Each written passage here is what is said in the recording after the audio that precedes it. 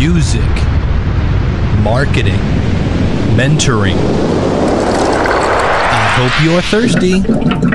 This is the Musician's Cooler, where musicians come to trade advice. Welcome to the show. I am your smiling host, Jammin' Dave Jackson, author of the book Get Your Band Out of the Basement and Keep Them Out of the Asylum. That is available right over here at musicianlibrary.com.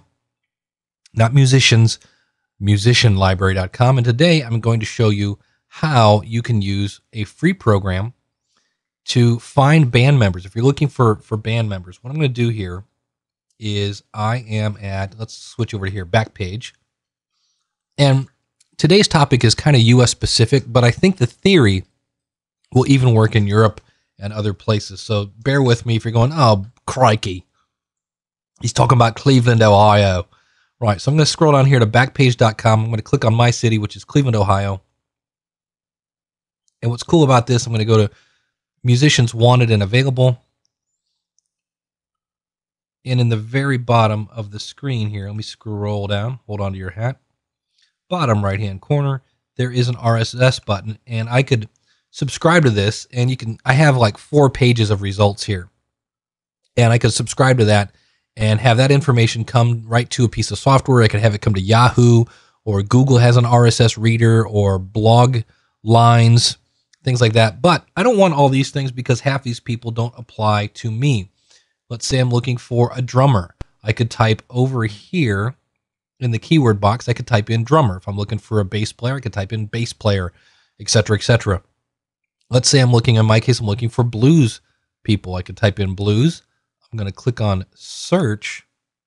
And the really, really cool thing about this is the RSS button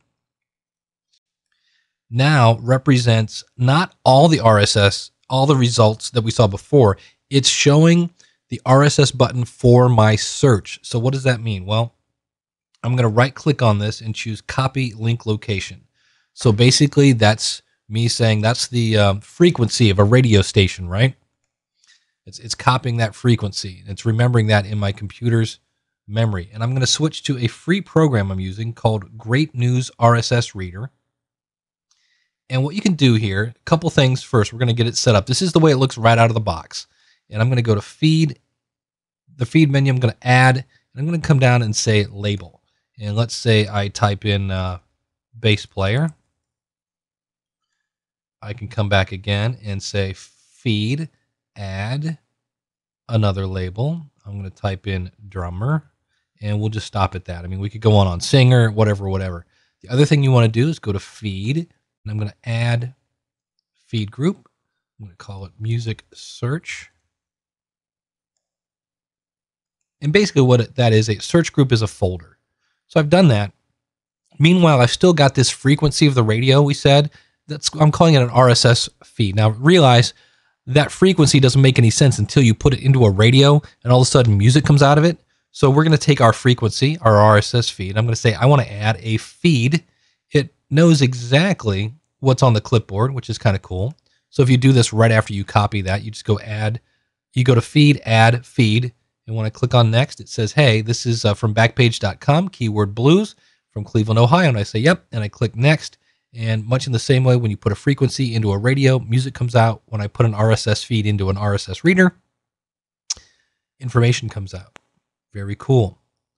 So now I'm going to switch over from Backpage to Craigslist.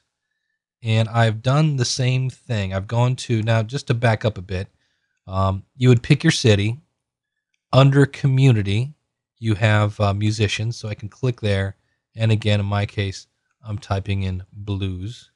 Uh, same exact place, bottom right hand corner. Oh, you know what? I almost made a key mistake here. You have to click on search. I typed in my keyword. If I don't click on search, it's not going to filter it. So let me uh, move this down to the bottom right hand corner. We'll find our RSS feed. I'll right click on it copy the link location. I'm going to switch back to my RSS reader. And now I don't have to add all the titles and tags. You just have to do that once. Now I can just come up and go feed, add feed. And it remembers again what's in my clipboard. Well, the last thing in the clipboard was the RSS feed from Craigslist. When I click on next, it says, hey, this is what I think I found Craigslist, Cleveland, musician, search blues. I'm like, yep, that's it. When I click on next, I'm going to put that back in my music search group. When I click on finish, here again comes the music. Now, the cool thing is I can click here on music search. Well, here, um, before we do that, here's a bass player. Uh, I can click on this and say label this. Let's say this is somebody I want to call la- later. I say do that. Um, here's somebody listing their gigs. Here's a guitarist. What else was I looking for? Drummers, um, guitar player, sound tech. Um, you get the idea. So let's uh, let's go up. That's on Craigslist. If I go over here, let me scroll this over so you can see what I'm doing. I'm looking at Craigslist. Now I'm going to look at Backpage, and here's another bass player. I could label this. Say there's a bass player. Right here's a drummer could label that, say I'm looking at that. And the great thing about this is now, um, first of all, the things I've already looked at, like because I looked at Craigslist, if I go back to this, it's going to say, you've looked at them all. So there's a setting where you can say, always show me things, even if I've already read it. So as you're reading it, if it's something you want to look at later, you, you need to label that. Otherwise, you have to go back into the settings and say, show me everything. Um, in fact, if I say click here to display all, yeah, it's showing me things that I've read. Now, how do I know I've read this? doesn't have the little gold star. Um, so likewise, Backpage now if I go back. So if you do that, that's why. It's it, there's a setting where you can say always show me old stuff, but it's kind of nice if you've already read it. But the cool thing is now if I just want to see my bass players, I can click on my label and there are my bass players. Pretty cool, huh? Very easy way to realize instead of going to Craigslist every day and looking, instead of going to Backpage every day or whatever site you're using over there in the UK, if it's got an RSS feed, see if you can do a keyword search and then then copy the RSS feed and only the things that match your search criteria will show up in your RSS feed.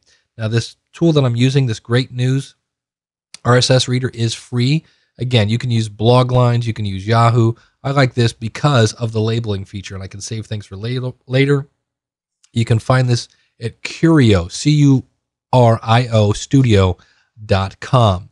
So that is going to do it for this edition of the Musicians Cooler. Is where musicians come to trade advice. Our website is musicianscooler.com. You can subscribe to our podcast in iTunes. You can subscribe to our free email. So that's another way that you can get our RSS feed. Or if you scroll down on our website,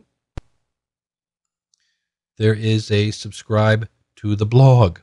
So just for giggles, I could right click on that, choose copy link location, go back to my news reader, add it, and I could add that so you could get my blog feed. You could also get the podcast here as well. This uh, feeder does that. So here I'll do that. It remembers my address. It's the Musicians Cooler blog. And I click on next, and we'll throw that in the music search just for giggles. And there it is. So there's the blog. These are things that I am not talking about on the podcast, so you can subscribe to that as well. So let me remind you that for those who have money, there is uh, therapy, but for the rest of us, hallelujah, there is music. Thank you very much for listening. And until next week, stay cool, everybody.